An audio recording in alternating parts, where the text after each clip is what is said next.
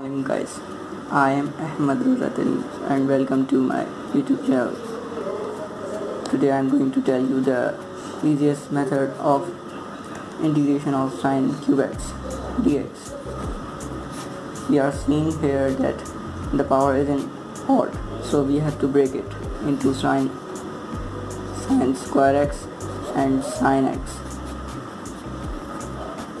We have to substitute here the identity of sine square x which is sine square x plus cos square x is equal to 1 you don't have to worry. It is an easy method. So we have to take the value of sine square x from here.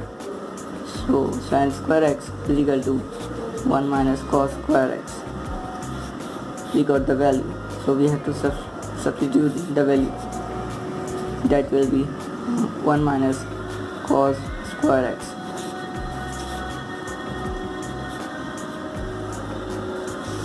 We are seeing here that the derivative of cos is present in outside. So we have to let suppose let y is equal to cos x and take derivative of it dy by dx. The derivative of cos x is minus sine x. The minus sign will be shifted over here and dx over there. So it will be dy by sine x dx and minus sign and we have to replace these all these values. 1 minus y square dy upon minus 1 minus 1 will be shifted to the front side have a common 1 minus y square dy now we have to integrate separately by integrate 1 dy minus integrate y square dy minus 1 integrate integral of 1 is x oh sorry y. And here is one power add and it will be in the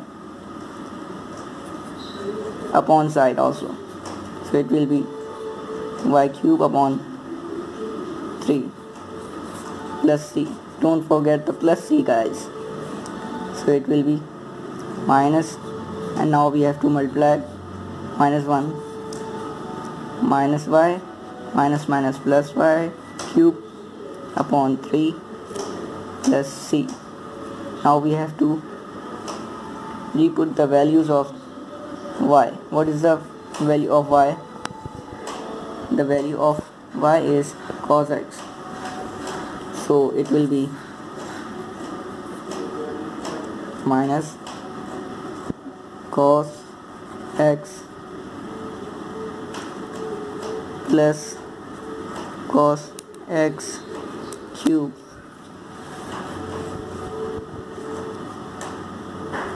Upon sorry I will write on the upper side. It will be minus cos x plus cos x cube upon 3 plus c. So it will be the answer.